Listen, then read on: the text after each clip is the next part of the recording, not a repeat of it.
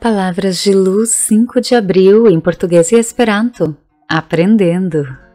Toda a passagem do Senhor entre os homens, desde a manjedoura que estabelece o hábito da simplicidade, até a cruz afrontosa que cria o hábito da serenidade e da paciência, com a certeza da ressurreição para a vida eterna, o apostolado de Jesus é um resplendente conjunto de reflexos do caminho celestial para a redenção do caminho humano.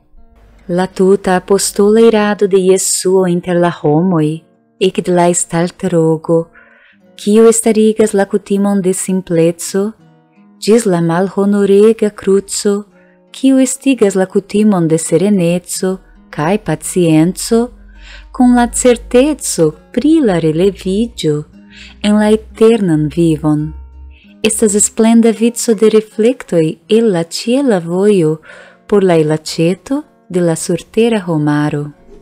Do livro Pensamento e Vida, FEB Editora, capítulo 20, Hábito. Chico Xavier Emmanuel. Até breve, diz Trevido!